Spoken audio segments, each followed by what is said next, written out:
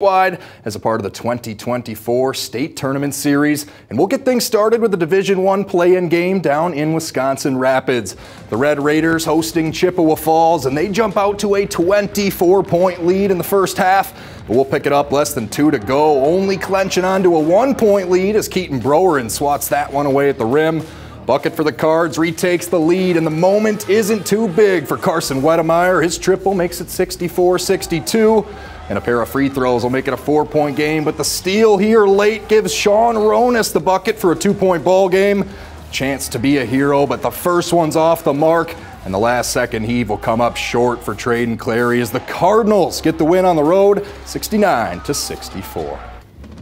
Just 30 miles west, a packed house for the Pittsville Panthers hosting the Loyal Greyhounds. Dogs pounce first. Reed Stiglitz opened things up from deep, but the Cats have the answer. Jacob Hardinger finesses his way to the glass on the blow by, and he'll get his squad on the board.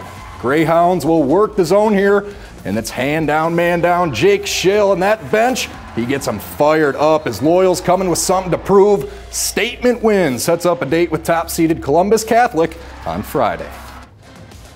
Hop, skip, and a jump over to Assumption now. The Royals hosting Plum City Elmwood. A big offensive board for Aiden Britzer will get the Wolves started. Lucas Glaus gets to the cup to extend a 12 point lead out of the break. The Royals finding some rhythm down the stretch. Wiedmeyer drops in the hop step floater, and that started their run.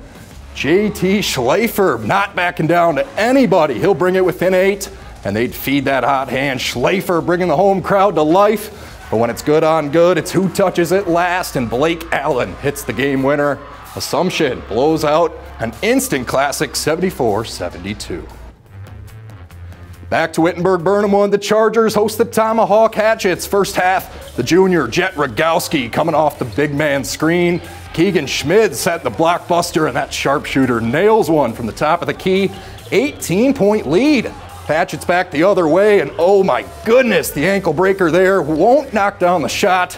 But a few possessions later, though, he'll find the stroke, cutting right back into the lead.